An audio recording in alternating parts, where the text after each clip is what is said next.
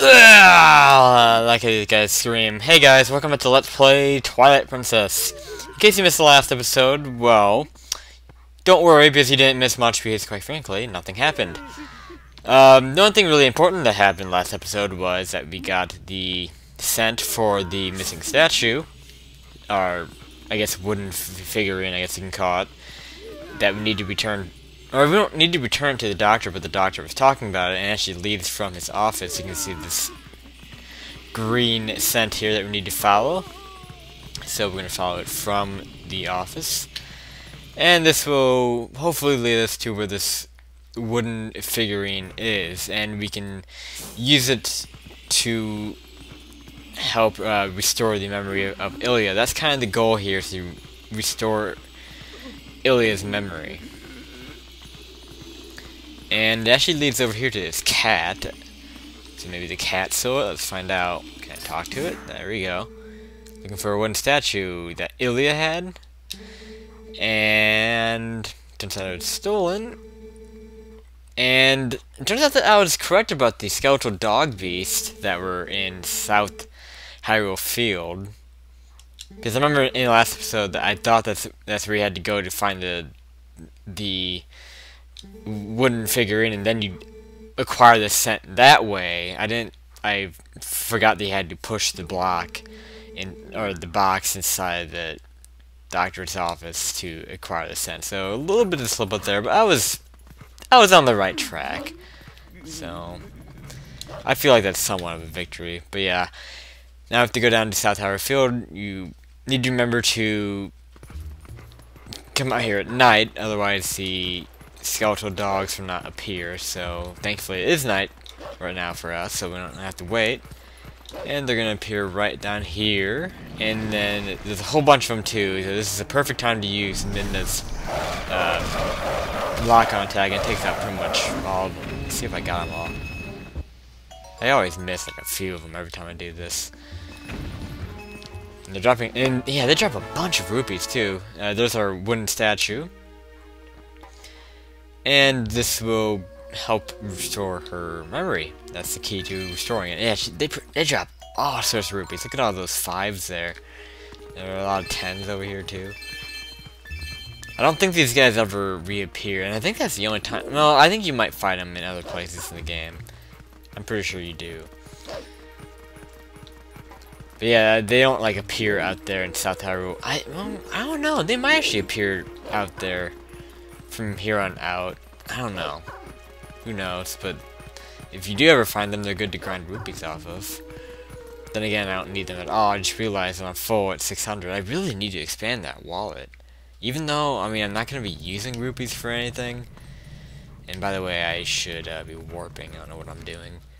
Um, I, I, need to warp back to, to Kakariko. I don't think there's much more of a use of the Doctor anymore. So, yeah, I think we're done with him. Now we can just warp on out to Kakariko Village. Doesn't matter what time of the day you go back there. Either way, Ilia will be inside the house of Renado.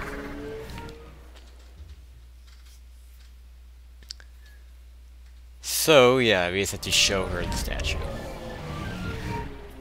But yeah, I don't think I'm going to be using rupees that much more in this game. I'm trying to think of what I would use it for. Not really that much. There is a huge side quest that I could do that uses uh, rupees and it'd kind of be fun to do, I guess. But the thing is, this side quest that involves you saving up a bunch of rupees, you basically do to Malo Mart in, there's like a Goron that can like hold a bunch of rupees for you. And you're basically like donating to a fund to um, to save up to open like a Malo Mart in Castletown, and that's not what we're supposed to do. Yeah, you have to lock on to her. And that side quest involves like a lot of saving up rupees, and what you can get from it is actually magic armor. And I'm talking over Ilia right now. I feel kind of bad about that. Uh, let's see. We're gonna have a cutscene here. I'm not sure.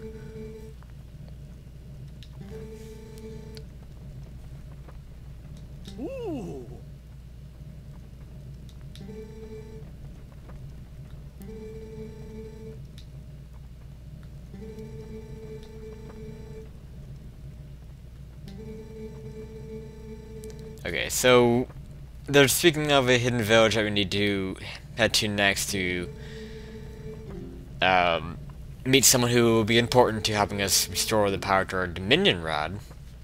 And also help us restore I Ilia's memory too. This is kind of a confusing part of the game. Just like how it works, like how things restore her memory. Because I don't think we're quite there yet. But yeah, now we have to head for that hidden village. I know exactly where that is.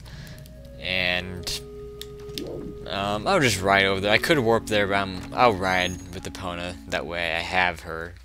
Because the hidden village is a little bit of a ways away from the warp point that... Uh, there's like a warp point right by the Bridge of Eldin, but that's still a bit of a ways away. And I want to have Epona there. And I don't think there's any grass nearby that. So yeah. But while I'm riding there, I can talk a little more about this side quest. Uh, again, you go into Malo Mart here in town, which is only open during the day, so I can't really show it at night.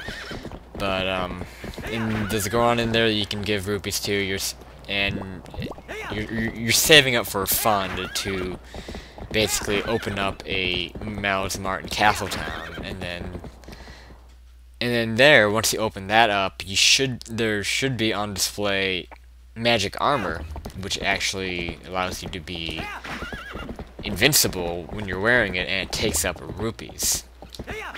Like, as you're wearing it, your, your rupee count will go down.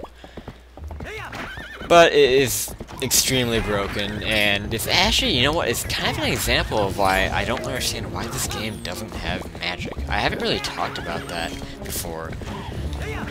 And yeah, this game doesn't have a magic meter, and that's kind of been a trend with recent Zelda games, and I don't know why, because I like having, like, magical type of items, like, like fire arrows and ice arrows and that kind of stuff.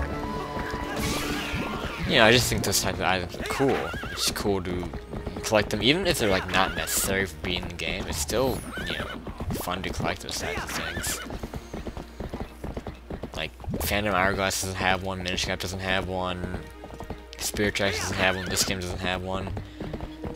In fact, I think the last game to have a magic meter is uh, Wind Waker. I, just, I don't know why they stopped going to that. Uh, this bridge is hard to see. I always mess this up. Night, it's just hard to see this bridge. Come on. We have a bunch of archers here, obviously, that we need to kind of avoid.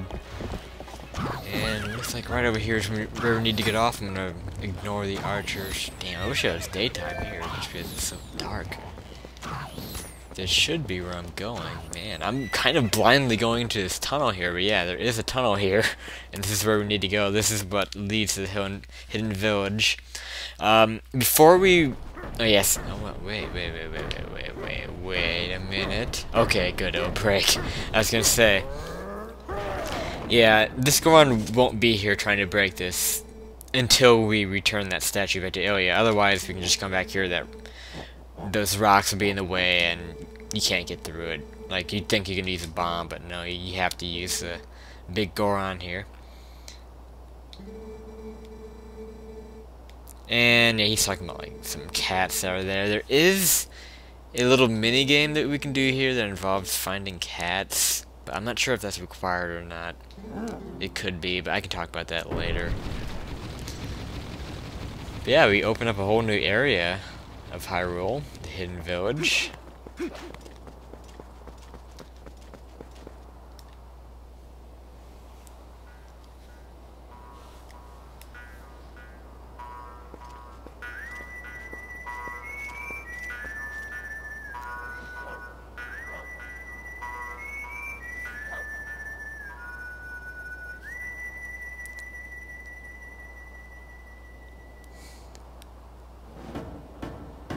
a very stereo, very stereotypical old western ghost type, type of thing.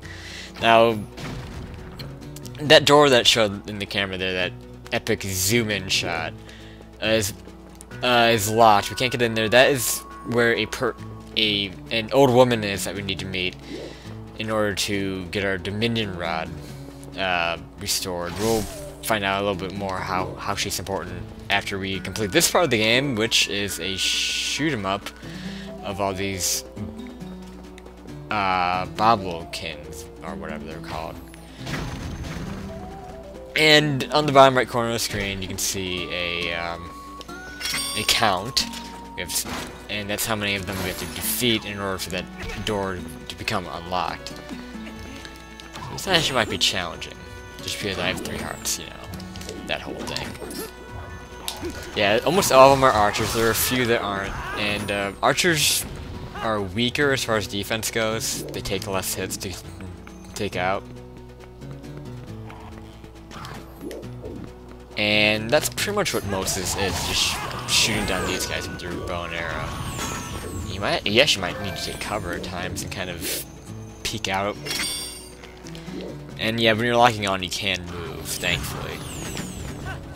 So, you know, I, you know, I was talking about how, like, in Skyward Sword, how the, like, first-person view allows you to move your your character around, and, and how it's all convenient, but you, you can do that in these games, too. It's just not quite this I, I don't know, it is pretty much the same thing, like locking on and then moving around. Still comes in handy. I need to get in a better position than this. I'm way out in the open. Um, all over the place here, you can find... Shoot, let me try to... Man, I'm too used to Skyward Sword. Yeah, like, there are a few, like, barrels you can shoot at to blow up that are like typically right next to these guys, so that's something to look out for. The hard part about this is just seeing where they are because it's dark out and they're dark in their like tone and their skin tone. So you really just have to look out for their arrows whenever they catch on fire. They're, like whenever they're ready their arrows to shoot them, they'll be like on fire. You can see them.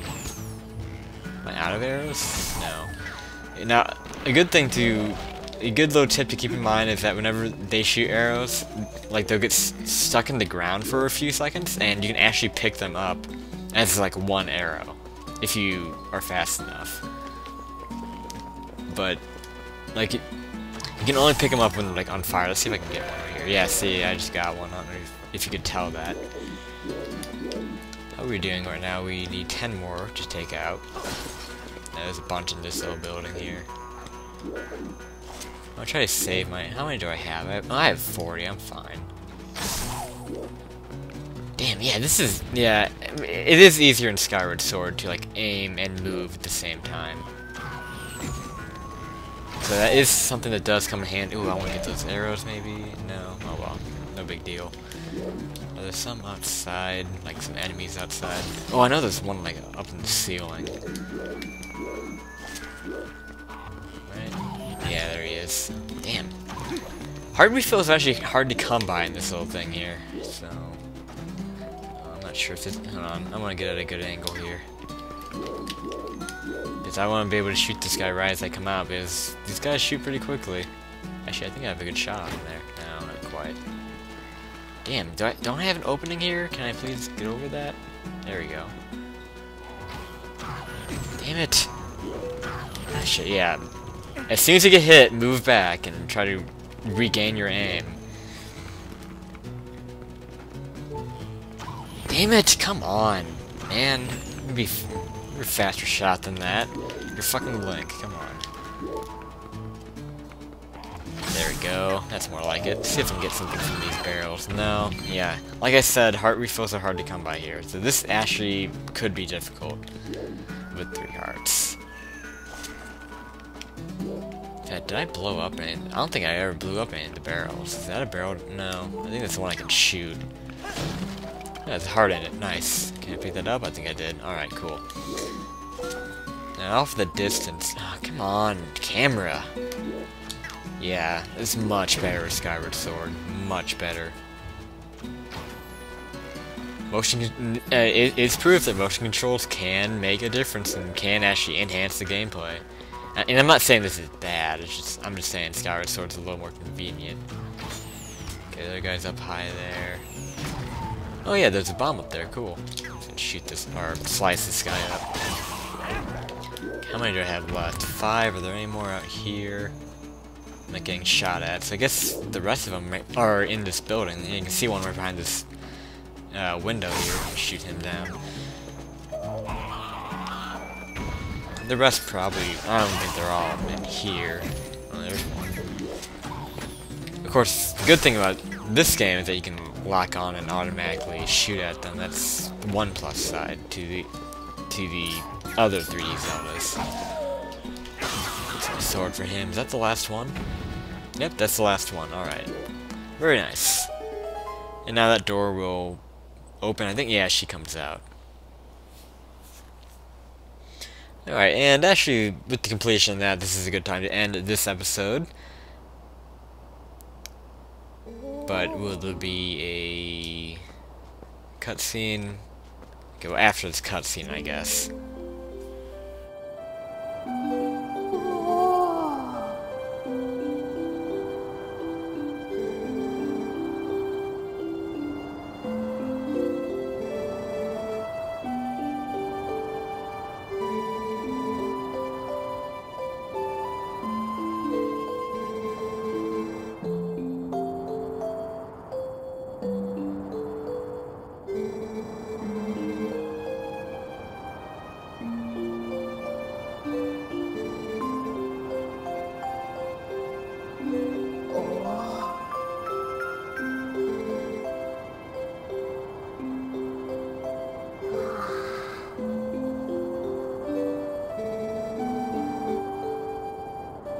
Música